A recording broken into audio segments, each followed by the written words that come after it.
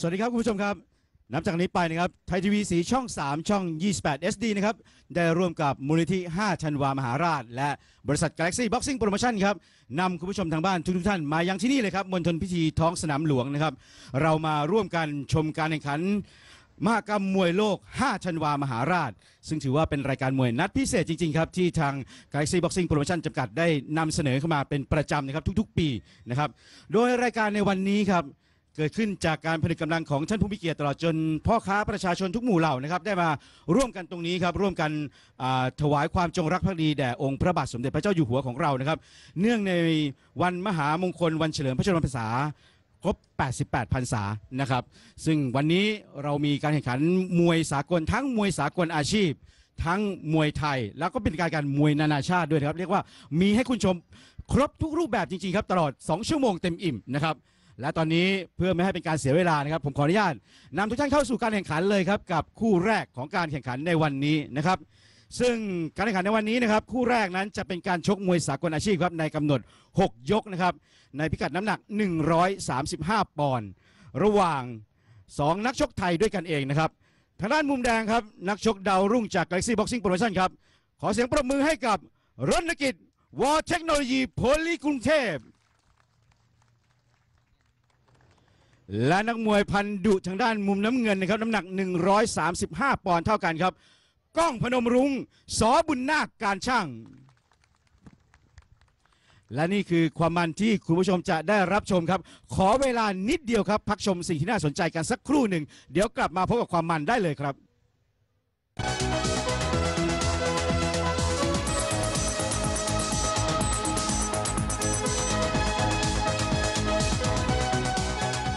ำท่านผู้ชมกลับมาที่มณฑลพิธีท้องสนามหลวงนะครับ ในมหกรรมมวยโลก 5 ธันวามหาราช ช่อง3 HD 28 ร่วมกับ Galaxy Boxing Promotion นะครับ ไปบนเวทีครับคู่แรกรณกิจกับทางด้านนักมวยไทยครับ ล้องพนมลุงครับคุณสุเดชครับ ครับผมก็วันนี้ครับถือว่าเป็นรายการพิเศษนะครับของ Galaxy Boxing Promotion นะครับคู่เอกนำรายการวันนี้ก็เป็นการป้องกันแชมป์พาบาในรุ่น1อ่า122ปอนด์ครับซูเปอร์แบนตัมเวทครับของนบกระติกแดงยิม แต่ว่าก่อนที่จะไปถึงคู่นั้นครับเรามาดูมวยดาวรุ่งในสังกัด Galaxy Boxing Promotion อีกคนครับที่ว่ากันว่าในปีหน้าเนี่ยน่าจะได้ขึ้นชิงแชมป์ระดับนานาชาติอีกคนนะครับสำหรับรณกฤษวอเทคโนโลยีโพลีกรุงเทพนะครับนักชกในพิกัด 135 ปอนด์ วันนี้ชกอุ่นเครื่องกับนักชกไทยด้วยกันนะครับก้องพนมรุ้ง ส.บุญนาคการช่างกันในกำหนด 6 ยกนะครับ ก็เป็นนักมวยคนครับที่ turn pro มาจากการชกมวยไทยสมัครเล่นนะครับ เคยคว้าเหรียญทองที่ในปีดอเกมในการแข่งขันซีเกมส์ที่เมียนมาแล้วก็มาชกมวยสากลอาชีพในสังกัด Galaxy Boxing Promotion ได้4-5 fight ก็ถือว่าโชว์ฟอร์มได้น่าประทับใจครับ ก็น่าจะมีโอกาสขึ้นชิงแชมป์ในระดับนานาชาติในช่วงปีหน้า กรรมการผู้ชี้ขาดบนเวทีการอาจารย์เฉลิมประหยัดทรัพย์นะครับ วันนี้ต้องขอบคุณเครื่องดื่มกระทิงแดงนะครับ ขอบคุณห้างขายยาตราเสือ 11 ตัวในห้างเชื่อชัยในห้างสุจิน เอื้อบุญนันบริษัทแสงสุริยะฉัตร2002 จำกัด คุณชัดชัยคุณนิพาแสงสุริยะฉัตรครับครับยกแรกก็ยังแหมยังดูชั้นดูเชิงอยู่ครับ พูดถึงชื่อชั้นนี่แหม่ลอนกรีดก็เป็นต่ออยู่พอสมควรนะครับ แต่ว่าแหม่กับนักมวยไทยเจอด้วยกันเอง ไม่มีใครยอมใครกันง่ายๆครับ ช่วงชกดูสูงยาวได้ประเดียวกว่านะครับสำหรับทางรอนกรีดครับนักมวยในกางเกงสีขาว ขณะที่กล้องพนมรุ้งครับในกางเกงสีดำกริบสีฟ้านี่ครับก็ยังหาช่องหาจังหวะเข้าทำอยู่ครับนอกจากคู่มวยสากล 3 คู่แล้วยังมีมวยไทยหญิงมวยชาย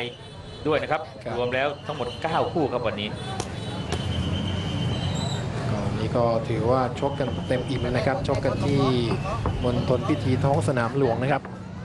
ก็เป็นประจำทุกปีครับคุณสุเดชครับ ครับ วันสำคัญสำคัญของปวงชนชาวไทยนะครับ ครับ วันแม่แห่งชาติวันพ่อแห่งชาติก็มีกิจกรรมดีๆครับที่มณฑลพิธีท้องสนามหลวง ครับ หนึ่งในนั้นก็คือการต่อสู้ในรูปแบบมวยสากลนะครับทั้งมวยสากลอาชีพ มวยไทยอาชีพ ก็ติดตามชมกันนะครับเอาละครับอยากจะหาจังหวะเข้าทำอยู่นะครับสำหรับทางรณกฤษครับ ครับวันนี้ต้องขอบขอบคุณท่านพลเอกประสูติรัศมีแพทย์นะครับ รองผู้บัญชาการทหาร รองผู้บัญชาการทหารสูงสุดครับในฐานะประธานอำนวยการจัดการแข่งขัน ท่านดรจรินสวนแก้วครับประธานมูลที่5ธันวามหาราช คุณพงพัฒน์แก้วสีทองธาดานะครับ แล้วก็คุณนิวัฒน์เหล่าสวนวัฒน์นะครับ ร่วมกันจัดขึ้นครับยกแรกผ่านไปครับ เดี๋ยวรับชมสิ่งที่น่าสนใจสักครู่ครับ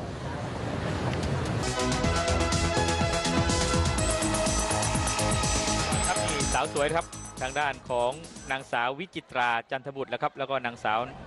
ณหฤทัยครับแก้วชะอ้อน น้องหญิงกับน้องดาวนะครับมาชูป้ายบอกยกจากกระทิงแดงครับ วันนี้ต้องขอบคุณยาบรรเทาฤทธิ์สีดวงทวารตาใบห่อห้างขายยาตราใบห่อจำกัดครับเฮียตีมาแล้ววันนี้ ยาบำรุงร่างกายกินผลไม้ตามหมอเสงดรบางกรเป็นจาธิกุลครับอธิการบดีมหาวิทยาลัยกรุงเทพธนบุรีครับครับผมมาชมมาต่อครับการชกอุ่นเครื่อง ในพิกัด 135 ปอนด์ครับของรณกิจครับกางเกงสีขาวกับทางกล้องพนมรุ้งครับกางเกงสีดำคู่นี้มีชกกัน 6 ยกนะครับผ่านมาจนถึงยกที่ 2 แล้ว ก็พยายามที่จะเน้นมากขึ้นครับสำหรับทางรณกฤษครับลายพิเชียครับออฟซ้ายครับกระแทกยัดซ้ายเขาขวาขึ้นไปครับงัดขึ้นมา ก็ดูแล้วครับฝีไม้ลายมือก็พัฒนาขึ้นเรื่อยๆครับทางรณกฤษครับ เจอศึกหนักแล้วนะครับทางด้านของกล้องพนมรุ้งแม่รณกิจนี่ทั้งยาวทั้งใหญ่ แล้วอย่างที่คุณสุเดชบรรยายสรรพคุณไว้จากต้นเกมนะครับ ดีกรีนี่ไม่ธรรมดานะครับได้เหรียญทองมวยสากมวยไทยสมัครเล่นนะครับที่โรบิดอร์เกมที่พม่านะที่เมียนมานะครับเริ่มจัดเน้นแล้วครับทางรณกฤษครับเขาบอกว่ามีมวยชายมวยหญิงนี่แกเร่งเลยครับ อยากจะเช็คบินแล้วครับไม่ใช่ลงไปแล้วมาขึ้นมาสวมเป็นเกิลไม่ได้นะคุณคุณคุณสุเดชนะครับมา ครับแม่เริ่มเน้นเลยครับออกซ้ายทิ้งขวาอุ้ยหน้าตานี่แดงกำไปหมดเลยครับทางกล้องพนมรุ้งอื้อหือพยายามจะทิ้งซ้ายสวนมาครับแม่ดูเวทีมวยชั่วคราวแห่งนี้เราได้บรรยากาศครับ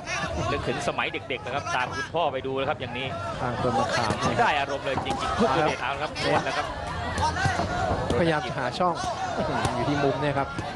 โอ้โอ้ยยเรียบร้อยครับ โดนอยู่ข้างเดียวครับแม่กล้องพทนนมรุ้ไม่งไหวครับ จานเฉลิมนับยังไงครับอื้อหือแม่ดูอาการแล้วโบกมือดีกว่าครับยุติการโอ้ชกแล้วไม่นะครับไหวครับโดนอยู่ข้างเดียวครับ ก็อย่างว่าเลยครับ เหนือกว่าเยอะครับโรนครับกิจผมพักชมโฆษณาสวยๆครับเดี๋ยวกลับมาดูภาพช้า แล้วก็การมอบป้ายโฆษณาครับพักแป๊บเดียวครับเดี๋ยวกลับมาครับ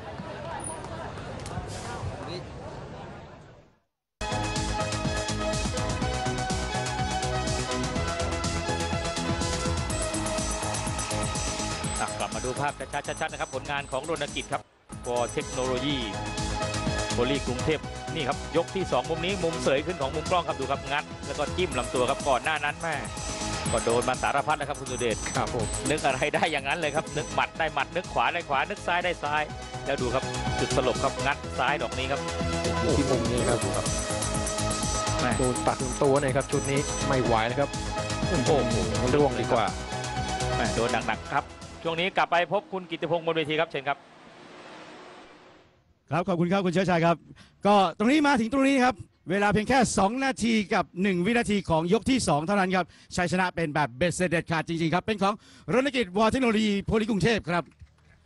ถือว่าเป็นดาวรุ่งกำปั้นหนักอีกคนหนึงนะของเมืองไทยตอนนี้จับตาดูให้ดีครับ อนาคตไม่แน่นะ อีกไม่นานนี้น่าจะมีโอกาสได้ชิงแชมป์สถาบันใดสถาบันหนึ่งนะครับ